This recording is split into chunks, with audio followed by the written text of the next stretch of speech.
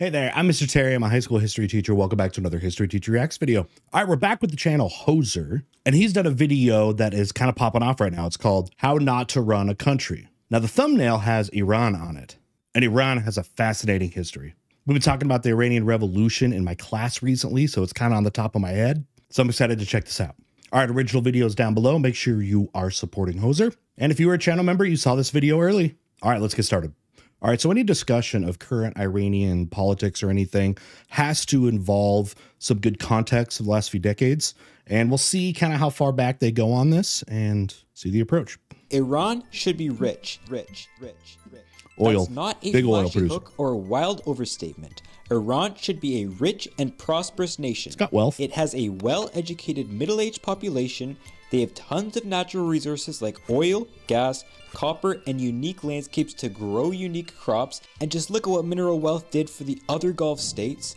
They have Hey, an let's remember- incredibly strategic location, Let's all right. Let's remember too. The Persian Empire was was goaded. well situated for global trade, and control possibly the most important 55 kilometer stretch of ocean on Hormuz. Earth. Despite the mountainous and desert terrain, Iran has built up quite an impressive infrastructure. By the way, you probably heard just recently the uh, president of Iran died in those dangerous mountains there in a helicopter crash. network. They have more engineering students than America does, with the third highest number of engineers out of any country on Earth. And before the know that. revolution in 1979, Iran was a fast growing economy with a rising affluent middle class. But There's some reasons for that, and we'll see what they go to. There was a reason for a reason for that revolution. Iran is not According to Iranians. rich. And all say that it did not have to be this way. They didn't have to have their output in a single decade. Millions of educated Iranian workers never had to sit idle waiting for a job. Incomes never had to be eaten away by a rapidly falling rial and widespread inflation, and Iranians should have never had to game the system to get ahead, either entering the black market or government service to avoid some of the highest corruption on earth. Mm. Had decisions been made differently in the past, Iran could very well have been a rich nation, or at least comparable to its neighbors in the south. I mean, just it's not like they're the, the nation still has so many assets for that too. But yeah, I mean, they're a theocracy. Um, it's pretty much dominated by the you know uh, um, it's the Islamic Republic of Iran, which again the context goes back to the Iranian Revolution. But uh, much of whatever government regime is going to be in there is at the behest you know of the Ayatollah and uh, yeah. Now, we shouldn't blame one single thing for this lost potential, but it's very, very, very difficult to ignore the massive revolution and societal changes Iran Good. went through Glad in he's talking about it. 1979. Khomeini. Before Iran was a kingdom, Yep. a fairly autocratic, paranoid kingdom, but one with a rising middle class, Very through autocratic. increased trade and better technology, with a sort of progressive movement found among the economic elites. Western Enlightenment values were common among the upper classes. Hijabs and Islamic veils were banned for a brief period starting in 1936, and women got the right to vote in 1963. secularism. Secularism. Uh, that's that's the best term to use there. Uh, this regime was propped up and put into place by western powers. I'm sure we'll get to that. Um, and the much of those benefits uh, economically went back to you know bp british petroleum um, and the americans as well. And that was the big grievance. And i'm sure we'll get into it more because you already talked about it. But um, the grievance was that that wealth and that the culture that was happening at this time, especially post World War II, was Western in nature, um, and it was uh, benefiting foreign nations, and the people were not benefiting from those resources like people felt they should. All of this was done through very top down The Shah. actions. The new values were never really taught in schools, typically run by religious authorities, but they were certainly embraced by what many saw as a decadent and corrupt elite. The regime alienated many rural The wealthy monarchy, Iranians, powerful, solidifying their classic rule through a monarchy. network of secret police. The revolution which broke out was not organized. It was not for one specific goal. It was the realization of many, many different sects of society that they did not want to live under the Shah's rule anymore, eventually consolidating under the hardline Islamic sect of the revolution led by the Grand Ayatollah Ruhollah Khomeini. I'm wondering if he's going to talk about uh, what happened when a, an elected official was was chosen, Mohammad Mossadegh, who had a platform of nationalizing the resources of of uh, of Iran, and by that I mean basically just putting it in the ownership of Iranians and not say the British or any other foreign uh, group. And then there was a coup propped up by the CIA with uh, British assistance and kind of the British pushing it. That very popular guy in, in Mossadegh was um, basically a coup to take him out. And that was for a lot of people a kind of final straw because you had that Shah, but then you had he was driven out, and then you had uh, Mossadegh was um, was uh, voted in. And of course, in this time, you got to talk about Cold War politics and uh, economic imperialism and capitalism and all those kind of things. And this was not something the British and the Americans, you know, stand for and have done this all over the world. Where if a country is going to nationalize their uh, their natural resources that have previously been owned and operated by, you know, American powers and Western powers, that there will be, and it happened a lot, there's going to be intervention, some kind of coup, um, and it could be more direct, more indirect. That happened in Iran, which has fueled the Western hostility, and to be honest, brought um, a lot of ideas about Western style democracy.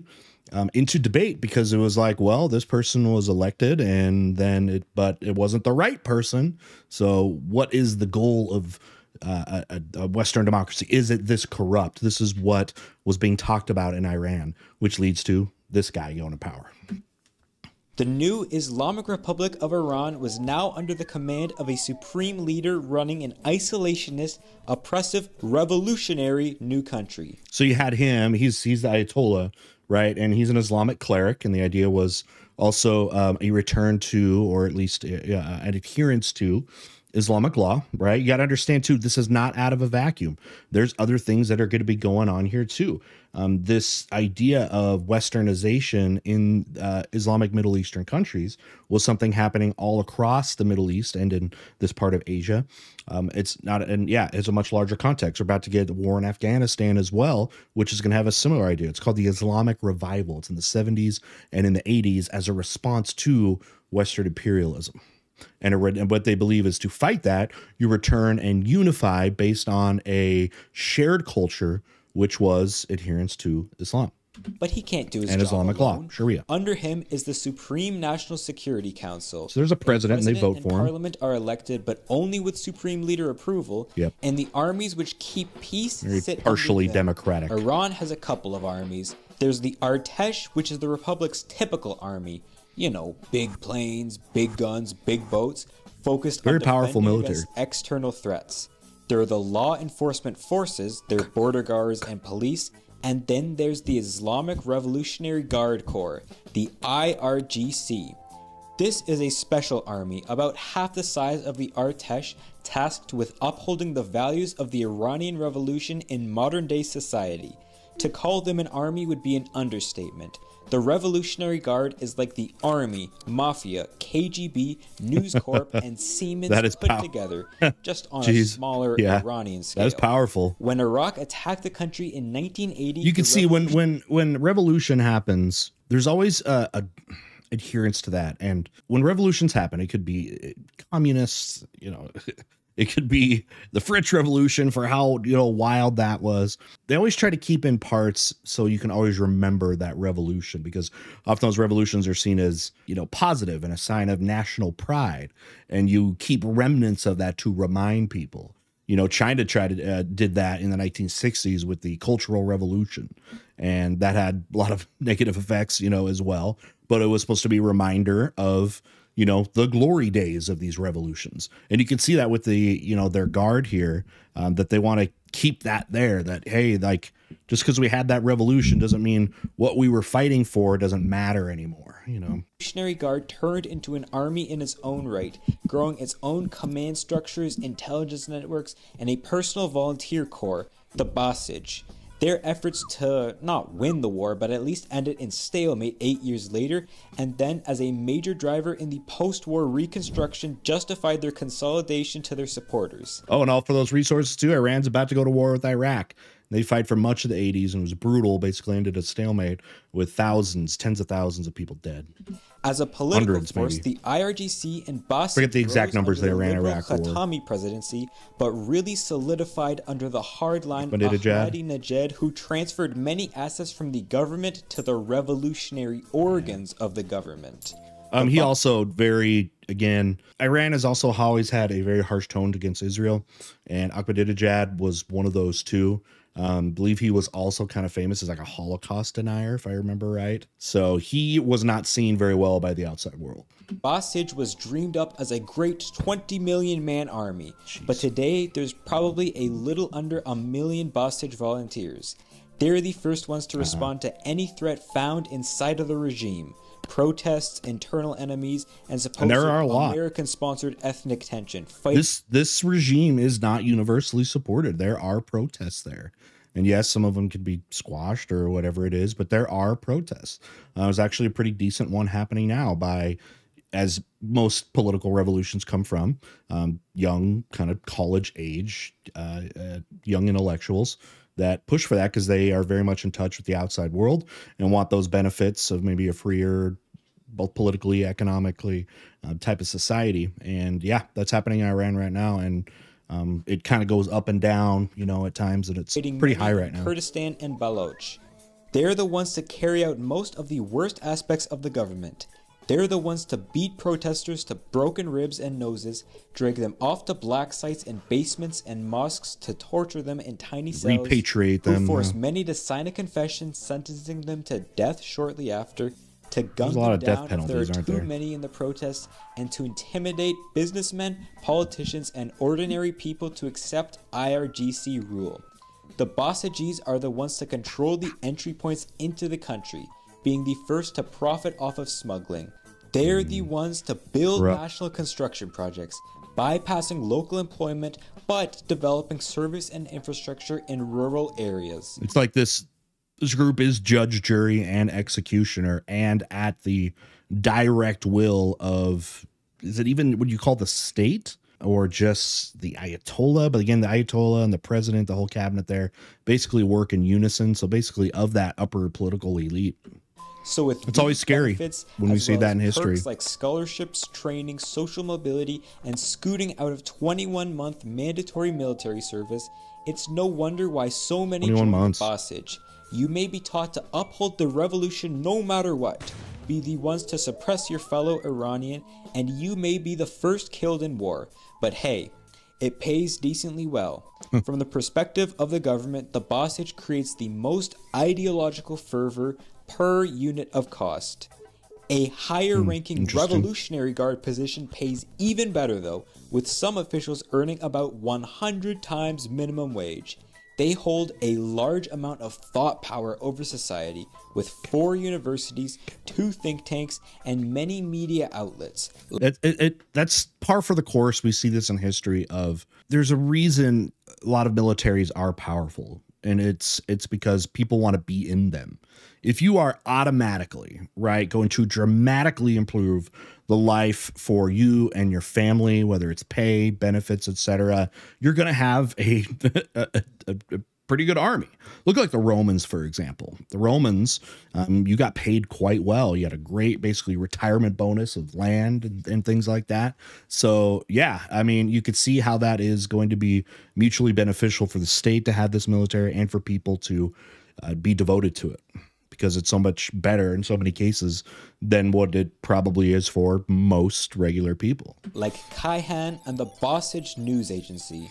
Although the Supreme Council of the Cultural Revolution has final say over which websites contain illicit material, remember this revolution was They hold many high positions in the many, many, many IRGC run companies, often not having to bid on auctioned off development projects, and they're the ones who send billions to internationally recognized terrorist groups.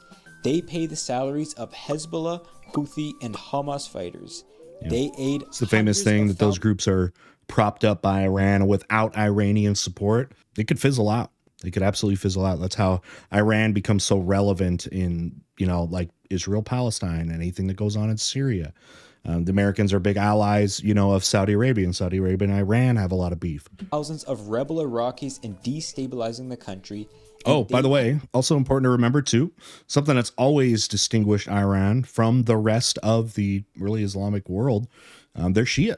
Um, they're the only state that is predominantly Shia, and that goes back a long time too, which makes them a religious minority in the uh, Islamic world because you know Shia only make up what 10 15% of of all Muslims and most are Sunnis. Helped Assad's regime in Syria, Assad, leader of the Syria. country, and they've helped Assad's regime in Syria, whose forces have killed over 300,000 and displaced 15 million, stay afloat.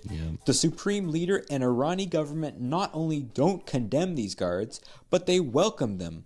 Many parliamentarians and And you can see that because it looks like a kind of a continuation of their Islamic cultural revolution. It's like those have little, I don't know, little little pieces of it. And you you keep your cultural revolution alive that you want to keep, you know, perpetuating by supporting other ones that may have similarities. And they probably see that with say Hamas or, you know, Hezbollah. officials hail from the guard themselves. They have an ideological and political chokehold over the country.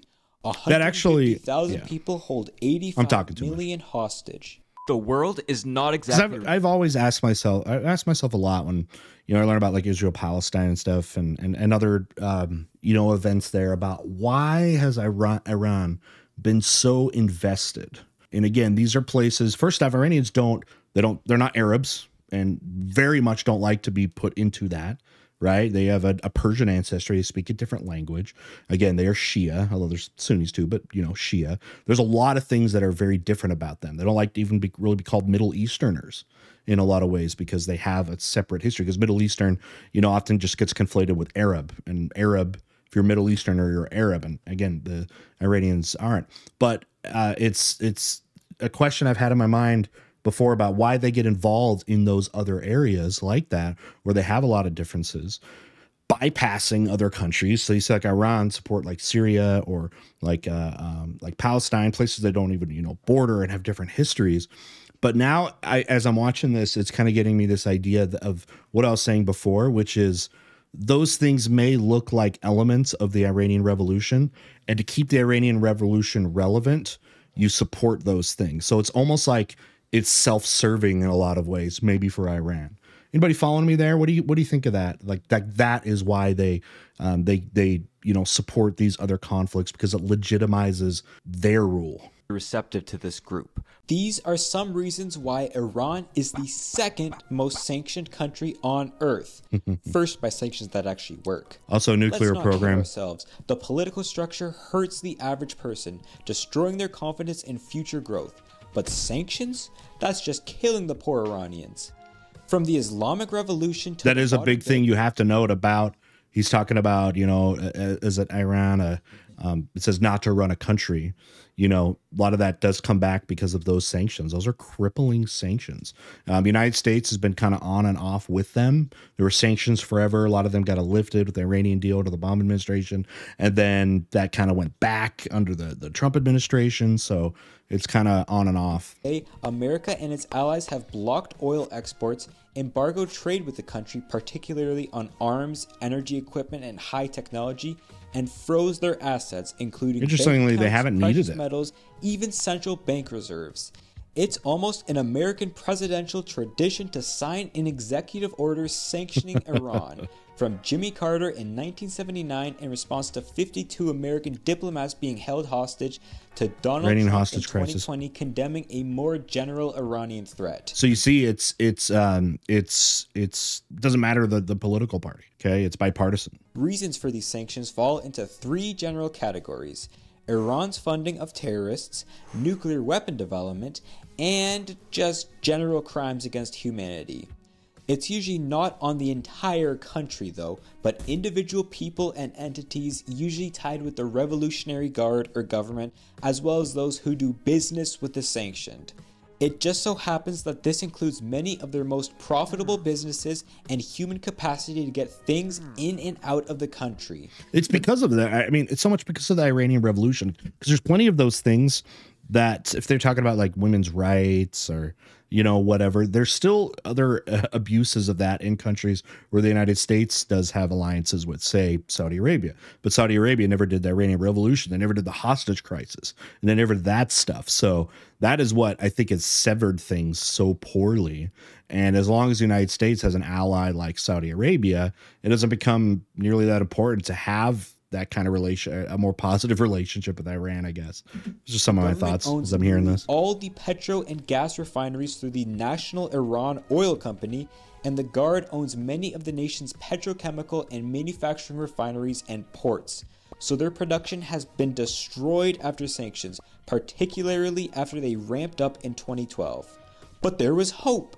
Some countries, namely this one, were willing to reduce or even get rid of their sanctions in exchange for Iran administration. swearing it will never develop a nuclear weapon.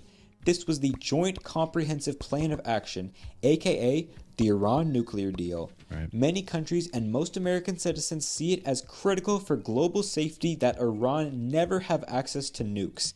um, there were a lot of people very, very critical of this um, as well, because they're saying the United States isn't getting anything out of this other than like a promise, a pinky swear that Iran will not develop nuclear weapons. It could get in the hands of you know other people. They say it was like a one-sided deal where the Americans were literally just giving up a lot of money too. There's a lot of economic aid that United States was pumping in as well, and uh, this was not universally appreciated because again sanctioning iran has been a bipartisan thing for decades If they were to make them, not only would um, another yeah. ideologically hmm. strong dictator have the ability to destroy entire cities, but its neighbors would likely start developing these weapons as a counterbalance to their own security.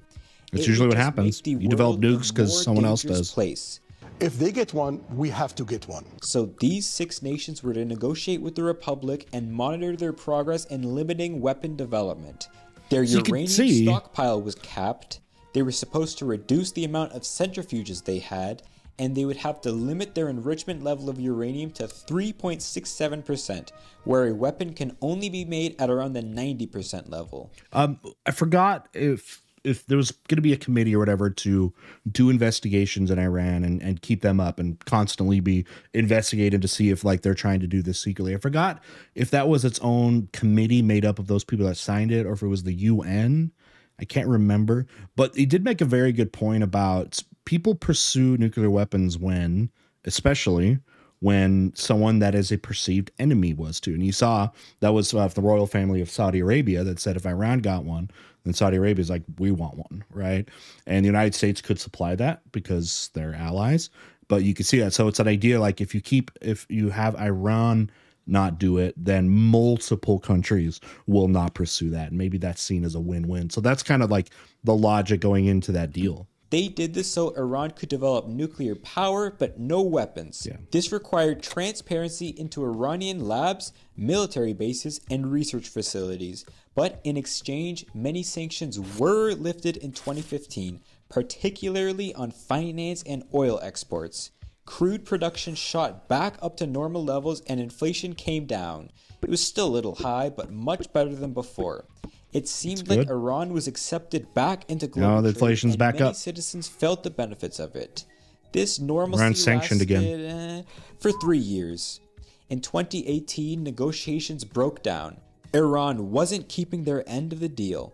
They were still hiding some of their bases and processing facilities, still funding terrorist networks and destabilizing their neighbors, and had four American citizens detained. See, this is stuff if you're the public in Iran, you're like, dude, things are getting better for our country, right? It's like they're lifting the sanctions. We have no more economic opportunities. Inflation is going down, right? So people that are are in Iran that aren't trying to fervently still hold on to this Iranian revolution of you know 50 years ago. Um, and it's a new generation that we're talking about now. And you're once you're 50 years out, you get a new generation that doesn't have that tie, and they're like, this was a good thing and then then you're you're ruining it by doing these other things that were against the deal. And you could see how especially since about this time 2018 um, there's been more protests against the regime although none of them have even come close to ever you know being able to like push them out or anything like that. The US was going through a bit of a famous isolationist period at the time, and in May 2018, it was announced they would no longer take part in the deal. Sanctions were reinstated on most entities. Inflation almost instantly shot up to around 40%, where it's since stayed. Brutal. The rial fell over 10 times in value since less people bought it to buy Irani goods, and as officials printed money and spent from the sovereign wealth fund to cover the deficit. Um, one thing I don't know: the other countries that were part of the deal, uh, what did they do after the U.S. pulled out? I don't remember. Many businesses closed, pushing around 10 million into poverty in a country where almost a third are now in extreme poverty. With many Iranians shareholders in the stock market, the financial sanctions erased ordinary people's savings. Ugh. Weapons trade increased with groups like the Houthis, Who've used them to attack Saudi Yemen. oil refineries and container ships in the Red Sea. Proxy war there. Houthis uh, out of Yemen, long been at odds with the Saudi Arabians. Iran supports them. Right. Proxy wars still got those going on. investment 2020s. halved from 2012 to 2022, and oil production halved until deals with China were made, giving them around a 20 to 30 dollar discount because of their buying power over the Iranian government. Dude, this is what China does, by the way. The China sits back, sits back and watches for these events to swoop up. And it happens a lot. They wait for some financial collapse of somewhere. No one else is going to help them. They swoop in and then they reap a lot of benefits. And they make, to be honest, really good deals with these countries that are usually way better than any Western nation could come in, right? Better terms of loans and stuff like that. And China has benefited from this kind of stuff by staying out of it and then picking up the ashes. Picking up Iran the ashes, is that a term? getting rid of caps on stockpiles and banning the export of uranium. If America wouldn't play, neither would they. then in 2020, Iran backed out of the deal after the high-ranking IRGC official US Qasem Soleimani was dude. killed by an American missile strike. Sanctions are unlikely to ease up now as Iran strengthens its military operations. It was interesting how little the pushback was, um, other than that by by Iran, because you know there are a lot of bases and other places you know around, and Iran you know had a very very small response to their leading general, who I believe was actually uh, quite popular, um, uh, being taken out. That the response was not nearly as big as maybe you would might expect but maybe it's just because Iran's like don't want to escalate things even further, even though they felt this was a, a terrible wrong done by them. Selling drones to Russia, and according to a UN report, nearly having enough enriched uranium for a bomb. Hmm. The point of sanctions is to cripple the economy, either for officials to change their behavior or for those Or hurt coup. to rise up and force a behavior change. That doesn't. But because of the unique structure of Iran's economy, sanctions may have had no other effect than hurting the bulk of society, with the politically powerful better off than before. Hmm. Iran's economy is deeply entrenched with its politics. It's a predominantly state run economy with roughly two thirds of output coming through the government, in theory planned out by the Supreme Economic Coordination Council. These state owned companies are generally exempt from taxes, completely opaque with their finances, unaccountable, and have monopolized key industries. Ugh. Not just oil. all that means is their biggest resources and money makers in their country do not go to the people, especially during times of crisis. petrochemicals, but manufacturing, engineering, and development too. One example of this is the Khatam Al Anbiya Construction Headquarters. This is this? the IRGC's engineering wing with over 800 various companies beneath it, employing tens of thousands of engineers and planners. Khatam has built all across Iran. Thousands of projects from mines to dams to pipelines to rail to offshore rigs to import export Infrastructure. infrastructure to irrigation systems were from their hands. Chances are, if Public there's any sort of development project, Khatam and the construction Basij are going to find their way into it. They often don't have to bid on auctioned projects. For example, this airport had been an investment and partially built by the Turkish engineering firm TAV. That means that somebody is making a fortune off of this because you don't have to compete for bids and stuff. That is where business and politics, two groups benefiting each other, it's incredible. It, it, it it's the grounds for an incredible amount of corruption. V before being seized and completed by the me go back. Rev- partially built by the Turkish engineering firm TAV before being seized and completed by the Revolutionary Guard in 2004. They embezzle billions through these holding companies, like one case of 80 trillion rials Oh through my Yas Holding, and it's the only organization which has the ability to traffic through the sanctions.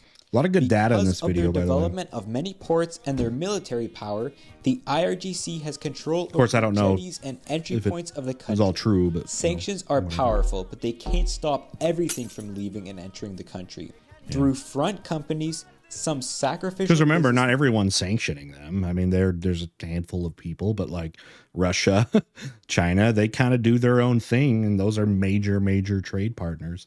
So really, what it does is just benefits other countries. And if you're the United States, you're like, you know, you're you're staying out of this, or you're trying to like punish Iran or something. But all you're actually doing is helping China and Russia.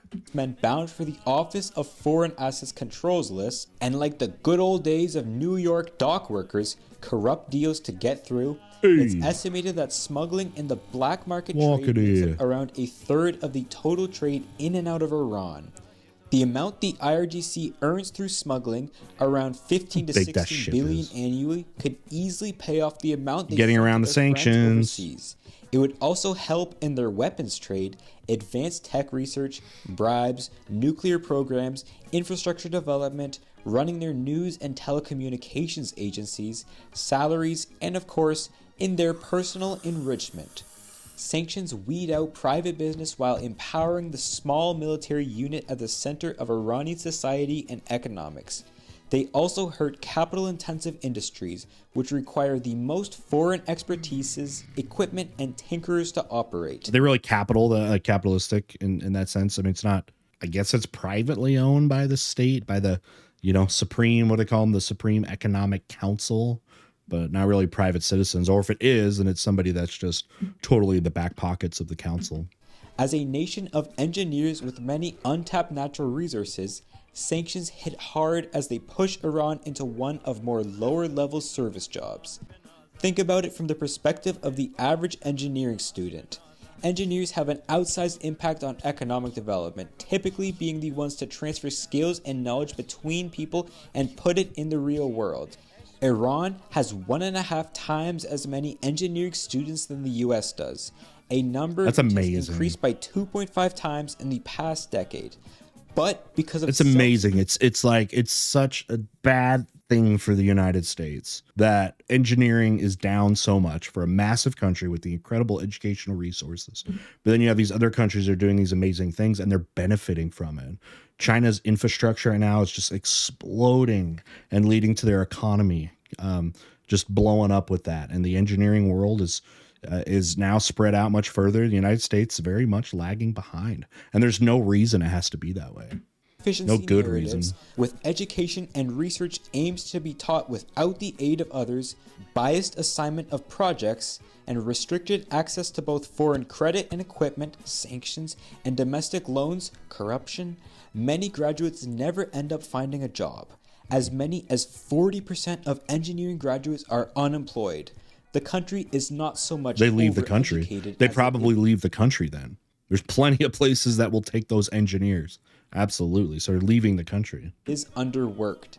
It is not uncommon for most in a graduating class to pack up and leave for better opportunities abroad, taking what could be their contributions to the country away with them. The government can either crack down on these students, as it has done towards student protests in the past, or via increased times to get certification, they could ban students from leaving the country, but it may not work. Around half of 18 to 29 year olds say they would live in another country. Around two thirds think the government restricts the liberties of the youth, and over three quarters say they don't see prosperity in Iran's future. Among the Do you feel? I wonder how does that compare to other countries? Because I feel like young people are going to have a very pessimistic view of things because when you're a student and you're just out of school, things are very difficult for you, right? There's not just this this red carpet rolled out for you in most countries. So I wonder if those like uh, demographics would that be the same thing an American would say, like an American student? Probably. over three quarters say they Like the, let's let's hear them again. The government. about it. 29 year old Let's go back leaving the to when these started.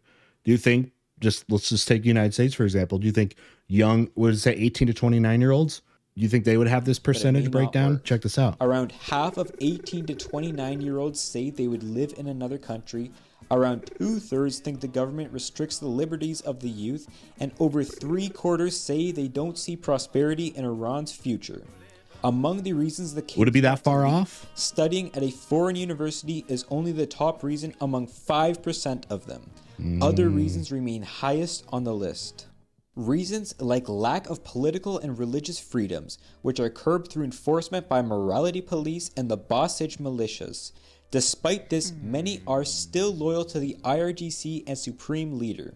Ali Khamenei has increasingly built a cult of personality surrounding himself. You have to do constant propaganda. He speaks the word of God to rally up his narrow base of supporters who keep the regime Mm-hmm. in place. theocracy. It's like almost like the divine right of kings from the Middle Ages, where the state and uh, the the church, you know, are one and the same, and they get their power from each other.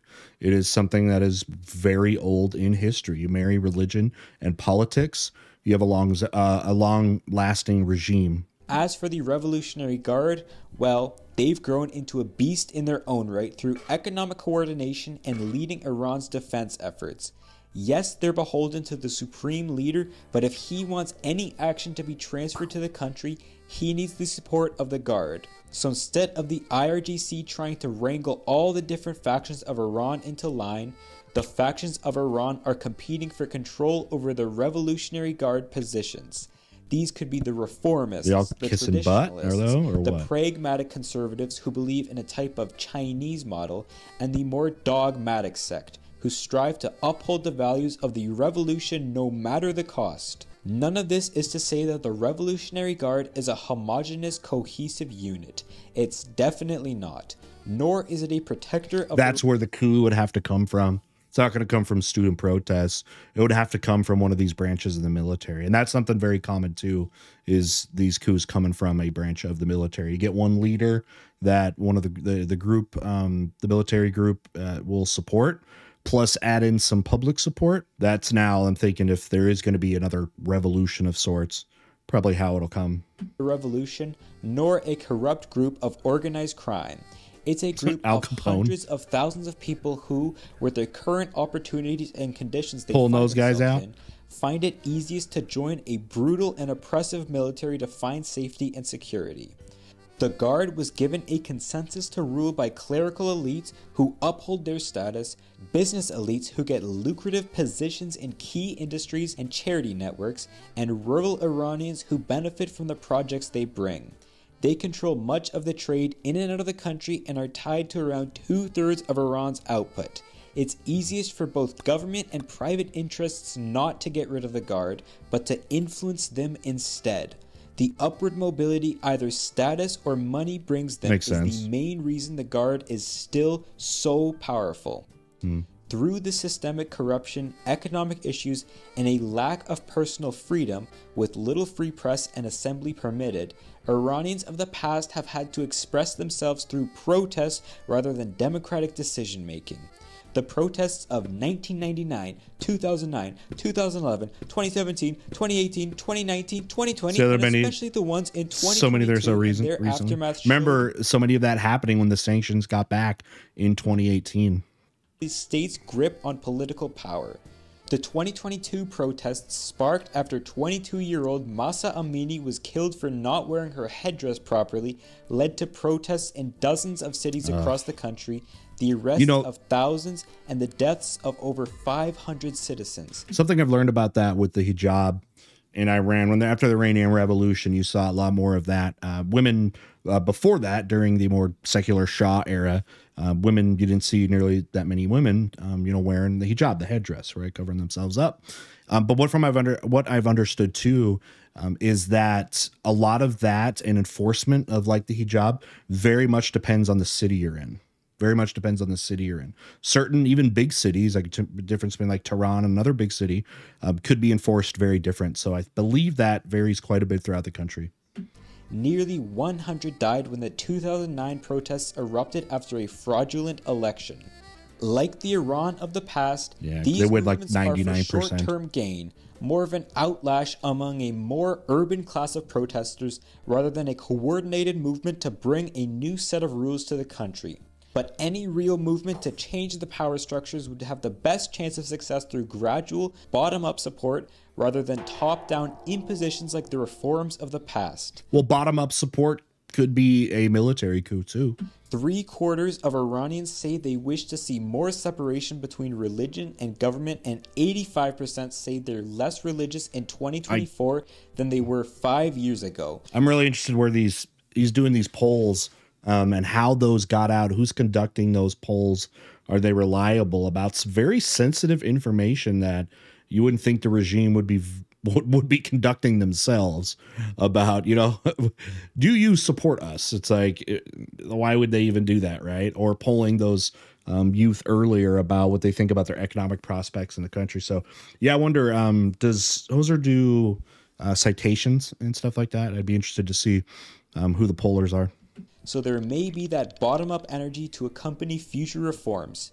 Top down, autocratic policies Shah. have led to the alienation of millions, the backlash which created the Iran there In both regimes, yeah. and the cartelization of the economy and political power. One that, without the input of its population, has not lived up to nearly its potential. Hmm. All right, so the thesis, I guess I'm extracting out of this kind of video essay here is kind of uh, two parts. That Iran's problems are the product of sanctions, okay, uh, from foreign countries, and then decisions made by you know the Iranian theocratic government, I guess you would say in itself, with an emphasis though that it's more on the decision making of the government than outside sources. So like citing that yes, these these sanctions, you know, and the decisions to either lift them or put them in have a major effect on the country, but it looks like Hoser is saying there's more of the struggles happening in Iran that should be put into the decision making of the government. That's kind of what I've extracted there, and maybe you agree with me there. So, anyways, here are my thoughts throughout the video. I'm um, interested to see what you think about that too. And with that, we'll see y'all next time.